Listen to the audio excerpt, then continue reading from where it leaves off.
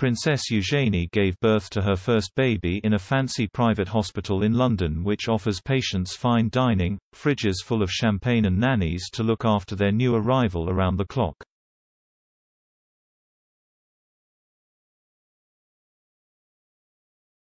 The new mum, who welcomed a baby boy just before 9 a.m. on Tuesday, picked the Portland Hospital in London's West End, the same place she was born.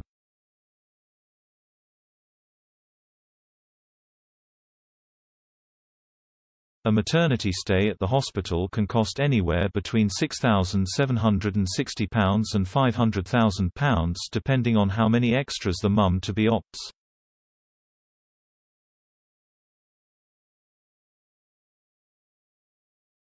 The average stay is about £20,000.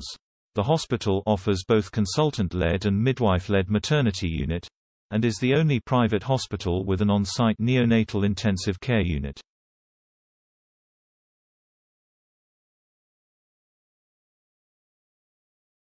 Expectant and new mums staying at the Portland will get to enjoy some delicious meals prepared in the hotel standard kitchen, which provides around-the-clock fine dining.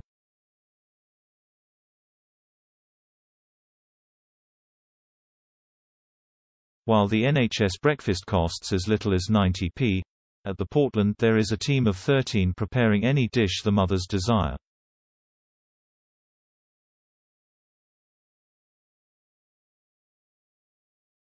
One Cooks boasts, We can get foie gras, lobsters and oysters if people want they. We have fantastic champagne, Dom Perignon if people want it.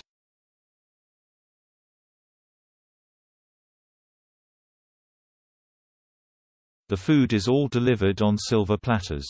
And new babies don't have to sleep in standard plastic cots.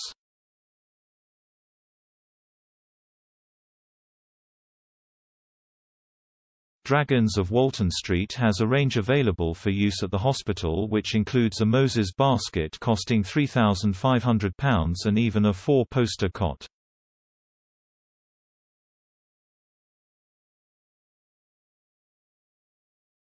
Molton brown toiletries are available for everyone who stays there.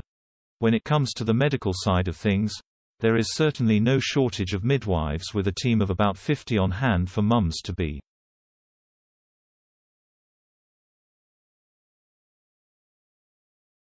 As well as Fergie, Meghan and Eugenie, other celebs who have given birth at Portland include Victoria Beckham, Jamie Oliver's wife, Jules, Jerry Hall, Kate Winslet and Emma Thompson, Spice Girl Geri Halliwell, Benazir Bhutto, Trudi Styler, Patsy Kensit, Victoria Wood and Julie Walters.